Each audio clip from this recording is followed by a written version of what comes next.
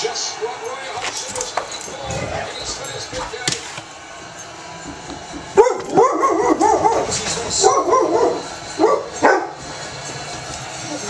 got his big